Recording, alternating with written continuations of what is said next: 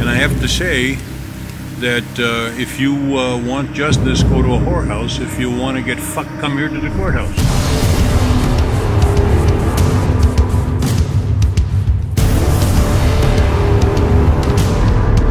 The young man that's in prison claimed that um, that this individual jumped on his back from behind as he walked away. Like he didn't want to fight anymore, and he walked away.